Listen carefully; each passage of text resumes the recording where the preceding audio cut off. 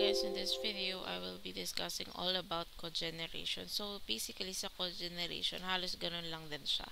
Although dito, kasi parang, uh, ano siya eh, meron siyang dual purpose. Mag, ang, ang napoproduce nito is the power of the turbine or the electricity plus yung uh, heat pa. Okay? So, nagpo-produce din siya ng heat or process dahil dito sa process heater. Yung heat na to is nagagamit for uh, any process in the field na kailangan ng heat. Okay, halimbawa, uh, kailangan sa process na uh, to maintain a high temperature, ayan, ito yung ginagamit. So, uh, hindi lang basta electricity yung pinoproduce niya through the turbine, magpo-produce din siya ng additional heat para hindi masayang yung sobrang init na pinoproduce ng boiler. Okay, so dual purpose siya. Okay, so basically madadagdagan lang dito ng uh, heat bukod dun sa energy in na produce ng boiler, merong energy siya sa process heater tsaka syempre yung condenser na reject ito reject ito, useful heat. Okay? And then, work ng turbine, okay. Yun pa din. Ito, tsaka yung expansion niya. So, mag-solve tayo ng problem. Yan. Sabi dito, consider the cogeneration plant shown in the figure, steam enters the turbine at 7 MPa, 500 degrees Celsius. Okay, pumasok siya sa turbine. Some steam is extracted from the turbine at 500 kPa. So, pumasok, nag-expand, nag-extract papuntang 500 kPa for process heating. The remaining steam continues to expand to 5 kPa. Steam is then condensed at con constant pressure and pumped to the boiler pressure of 7 MPa. Okay, pagkatapos nito, from the condenser, pinap niya to 7 MPa. Okay. The, at times of high demand for process heat, some steam leaving the boiler is throttled to 500 uh, kPa.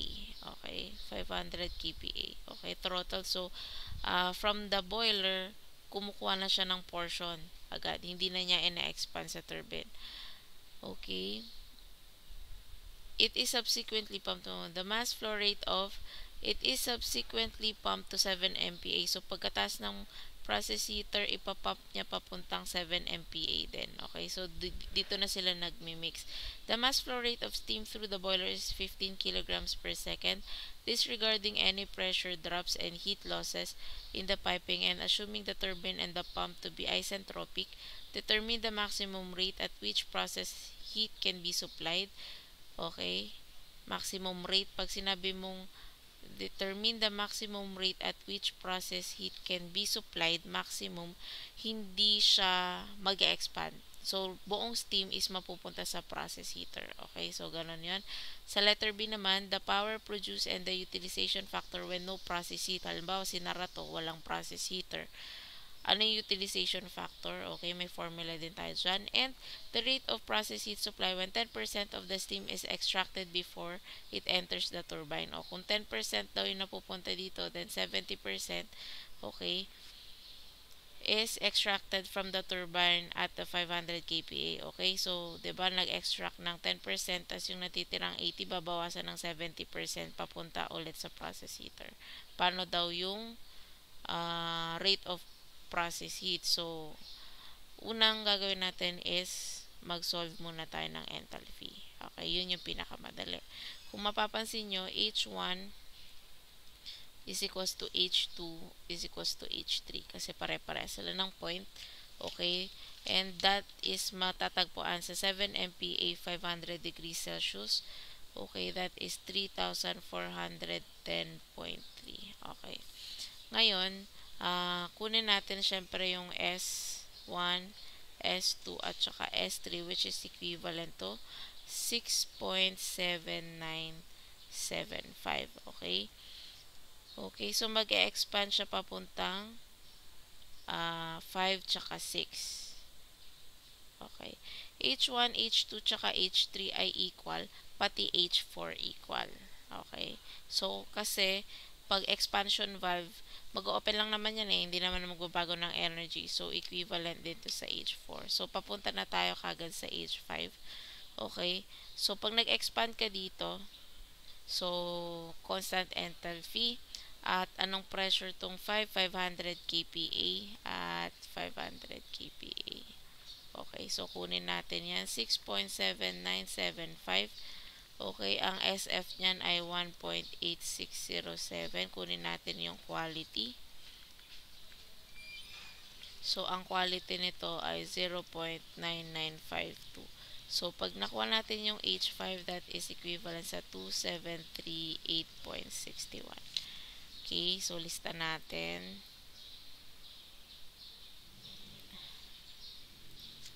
H5 is 2738.61. Ngayon, okay, equivalent din yung S sa S6.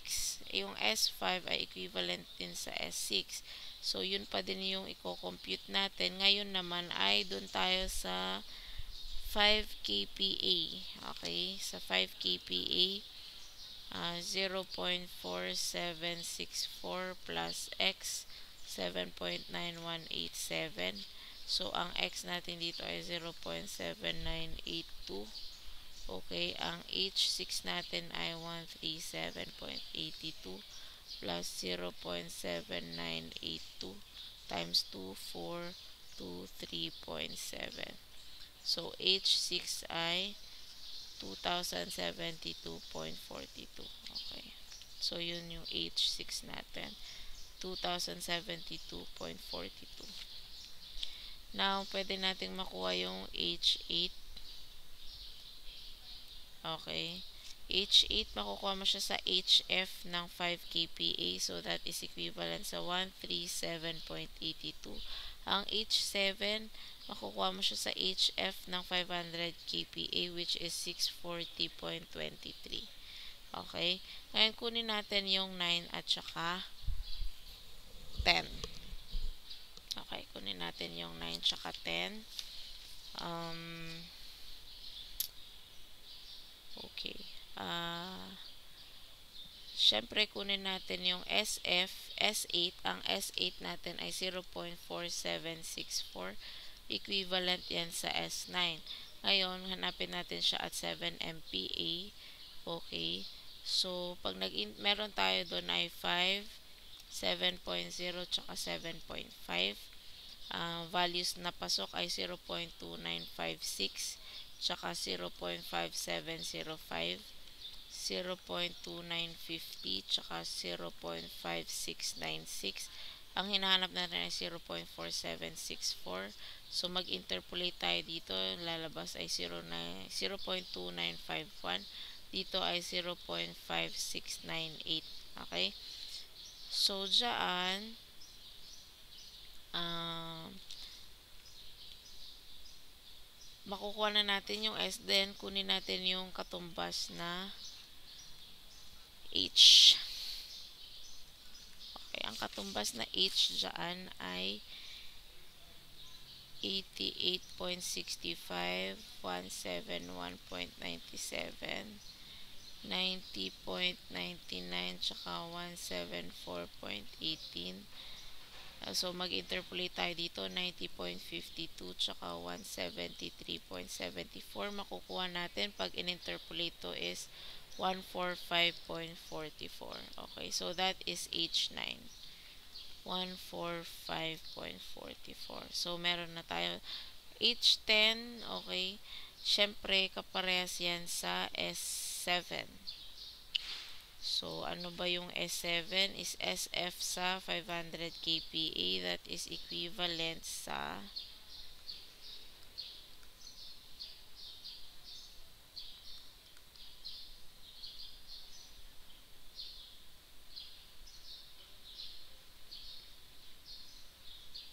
equivalent sa 1.8607.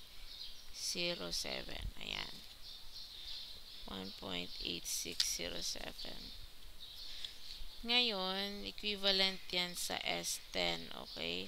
Na ang S10, ang pressure ay 7 MPa. So, balik tayo ulit. 5.0, 7.0, tsaka 7.5. Okay, 1.8 ito ah. So, pasok siya in between 1.7343, 1.9375, 1.7317, 1.9346, 1.7322, 1.9352, okay? Ay, sorry, sorry, sorry. Ah, uh, mali pala. 7 to. Ang inanap natin ay 1.8607. So, interpolate tayo. Ang lalabas dito ay 1.7322. Dito is 1.9352. Ngayon, yung katumbas niya na H is between 592.15 tsaka 678.12. Tapos, ito is 593.78. Ito naman ay 679.59. Okay, interpolate tayo dito. Pressure, 7.5 tsaka 7.5 minus 5. So, 593, 45, 679.30. So, ang lalabas dito pag in-interpolate natin S tsaka H is 647.79. So, ang H10 natin ay 647.79. Yan. Okay. Um, proceed na tayo. Proceed na. Meron na tayong kompleto H11 na lang kulang. Pero try natin sagutin yung letter A. The maximum rate at which process heat can be supplied. So, maximum rate, ibig sabihin yung 15 kilograms per second mapupunta lang sa process heater. So, syempre, uh, mag-energy balance tayo dito. Ano yung pumasok? 15 kilograms per second times H4. Okay. Um,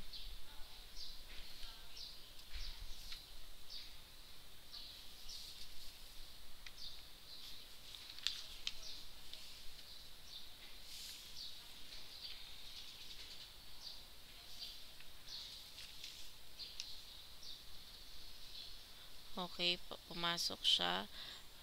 Yung lumabas is, syempre, 15 kilograms per second din. Tsaka H7.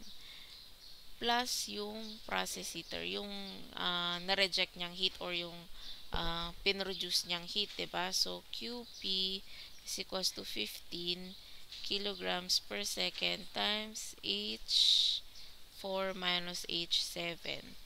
Okay, so 15 times H4 na 3, 4, 10.3 minus 640.23.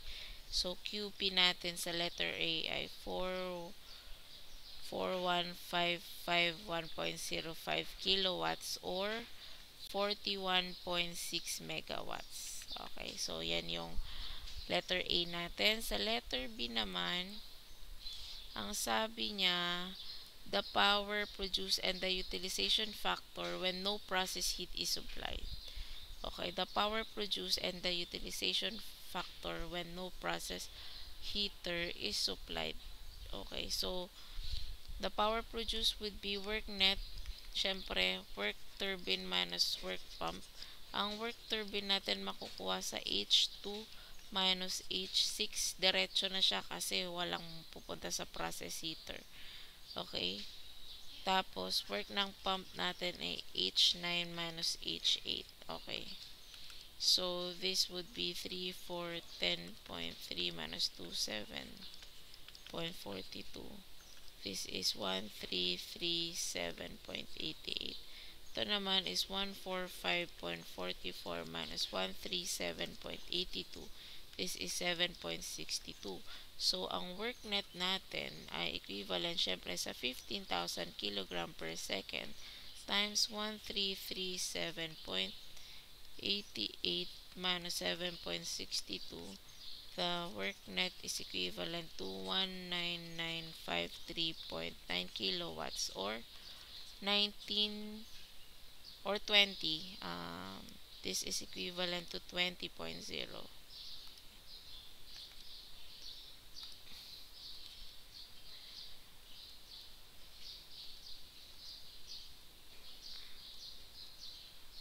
net is equivalent to sa letter B ay 20.0 megawatts.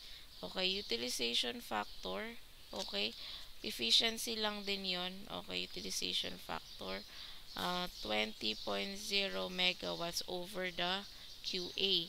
So, kailangan natin, wala, uh, wala tayong process heater, so walang zero yan. So, kailangan natin ng QA. Ang QA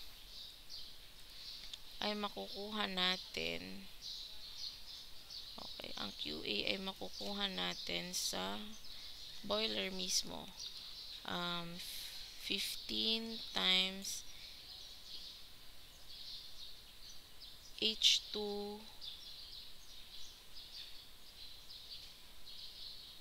H2 or H1 minus H9.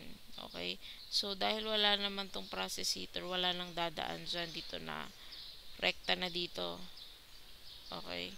H2 minus H9. Okay. So, 15 times H2 ay 3, 4, 10.3 minus H9 na 145.44. So, QA natin is 4 49.0 megawatts. So, efficiency is 20.0 over 49.0 Okay, that is around 40.7%. Okay? Alright.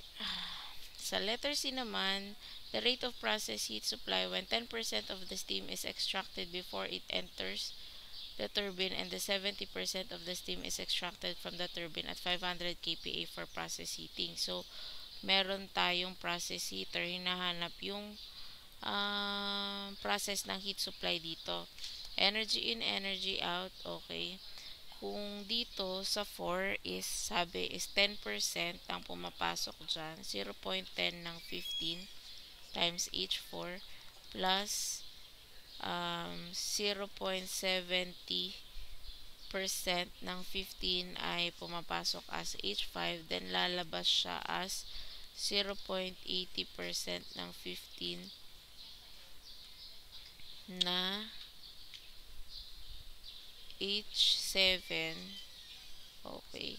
Plus syempre yung process yung heat na pinaproduce niya. So um, 0.10 times 15 times H4 na 3 4 10.3 plus 0.70 times 15 times 2 7 3 8.61 equals 0.80 times 15 640.23 plus QP. So, ang QP na makukuha natin dito is 26.2 megawatts. Okay.